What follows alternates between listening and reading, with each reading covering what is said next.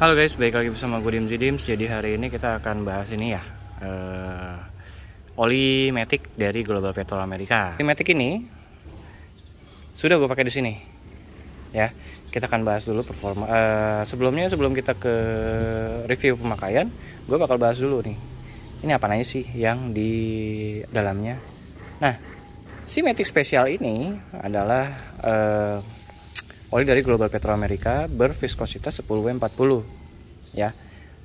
Agak agak ini sedikit sih agak kental sedikit dibandingkan dengan ya dibandingkan dengan oli-oli metik rekomendasi pabrikan. Karena oli-oli metik rekomendasi pabrikan dari 10W30 tapi nggak masalah karena viskositas itu sesuatu yang e, kalau misalnya 10 naik satu dari 30 40 nggak ada masalah sih ya. Terutama untuk e, tropis ya Nah ini sendiri Matic Special ini cocok banget kalau misalnya di eh, motor-motor Matic jadul seperti ini ya. Tapi kalau Matic-Matic jadul seperti ini biasanya dia ini kalau kayak kayak Suzuki Spin gini dia 0,1 liter untuk penggantian berkalanya. Jadi ini harus teman-teman uh, harus beli dua ya. Oke. Jadi nanti teman-teman tinggal uh, di periode berikutnya penggantian oli bisa ditambahkan lagi atau teman-teman bisa tambahkan oli yang lebih bagus dari ini yaitu Global Petrol America Synthetic Plus ya 200 ml jadi dia seperti aditif aja gitu ya. Nah itu. Nah di sini juga dia ada formulasi namanya Dramatic Revolution Formulation ya.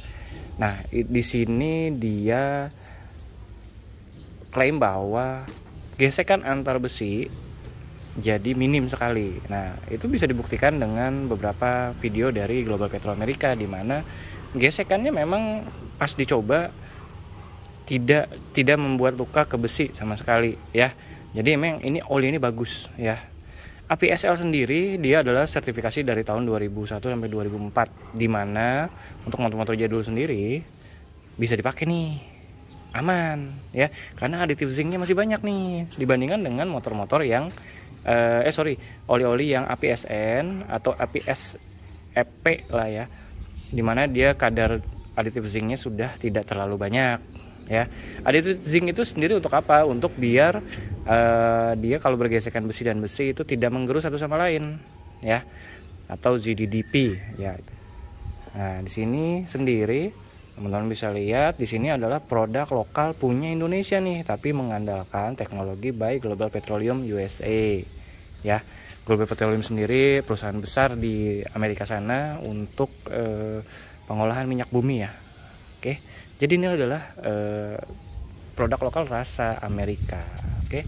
Nah kita lanjut ke review penggunaan ya. Tapi kita tuang dulu. Oke. Thank you. Oke, jadi kali ini kita bakal bahas impresi ya. Uh, review pemakaian dari oli Global Petro America Matic Special nih guys ya. Jadi uh, di sini kalau untuk testimoni motor Matic, oli multi motor Matic sedikit banyak sih sebenarnya gue feelnya lebih kepada akselerasi aja ya. Nah, untuk review si penggunaan harian oli Global Petro America Matic Special ini ya. Kalau untuk suara mesin pastinya nih pastinya nih ya guys. Lebih halus ya atau formulasi khusus dari Global Petro Amerika yaitu MRM dia itu klaimnya bahwa gesekan antar parts jadi berkurang karena dia licin nah nah ini sangat berguna sekali untuk Matic ya. Karena kenapa? Kalau gue bilang kalau untuk Matic itu tidak ada gesekan antara parts yang organik ya kayak kopling basah. Oke? Okay?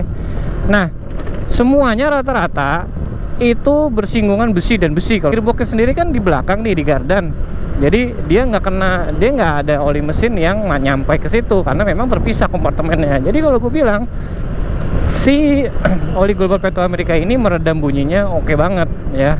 Dibandingkan dengan eh, oli-oli uh, konvensional. Ya.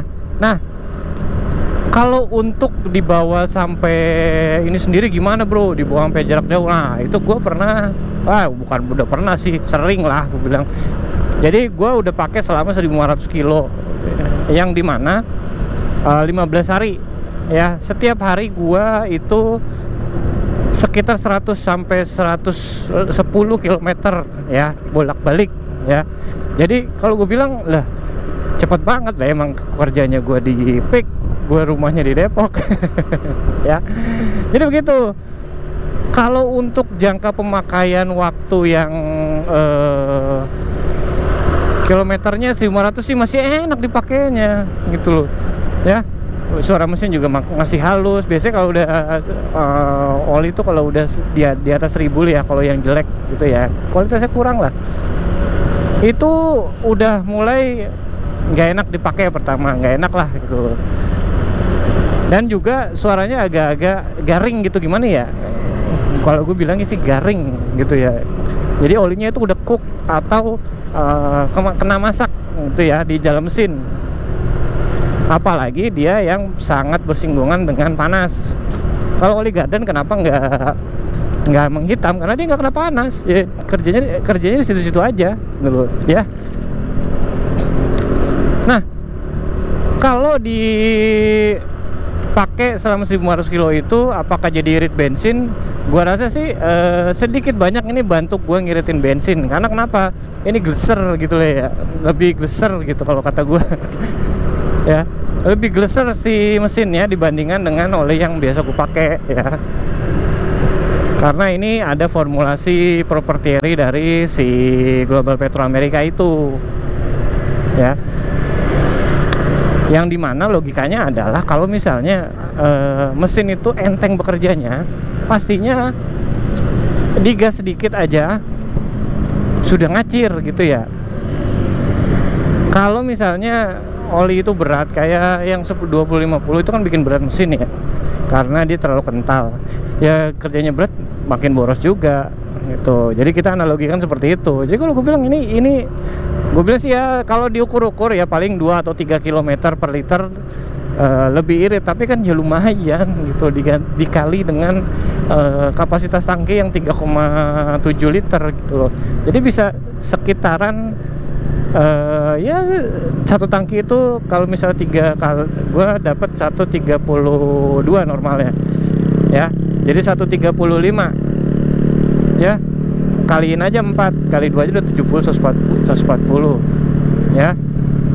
Jadi memang lebih irit itu loh analogi seperti itu. Ya ini membantu lebih irit karena formulasi dari Global Petro Amerika itu. Oke lalu kedua adalah panas mesin yang gue bilang sih masih cukup normal ya karena ini 10-40 bukan 20-50 biasanya yang 20-50 itu bikin uh, mesin agak agak panas sedikit karena dia mineral. Biasanya sih 20-50 itu mineral dan pelepasan panasnya kurang bagus. Tuh ya. Ya. Kalau untuk akselerasi gimana bro? Kalau gue bilang sih akselerasi cukup oke. Okay, pakai oli ini. Top speed gua rasa ya tergantung mesin kalian aja lah. Kalau matic-matic gua rasa nggak dibuang nggak dibangun untuk top speed. Jadi lebih kepada gesitnya uh, satet-satet di apa namanya jalanan aja gitu ya. Jadi tidak tidak main kebut-kebutan. Oke? Okay? gitu sih.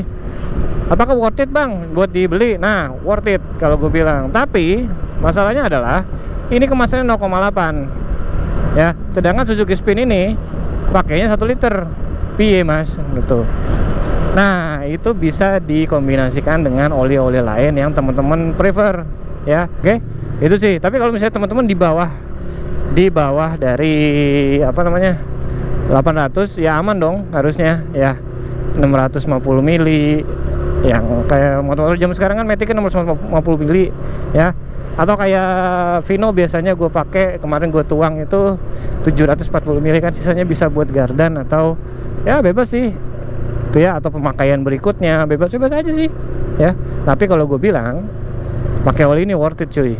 Lo harus beli ya harus pakai itu kalau itu sih kalau gue bilang uh, cukup uh, beralasan gue pakai oli ini.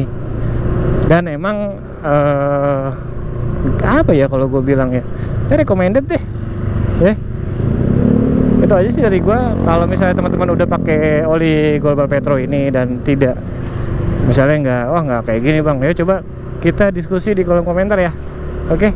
Itu aja dari gua uh, reviewnya kita ketemu lagi dengan review oli nanti selanjutnya dari Global Petro Amerika dan yang lainnya. Oke itu aja sih dari gua. Dim dim sign out. Thank you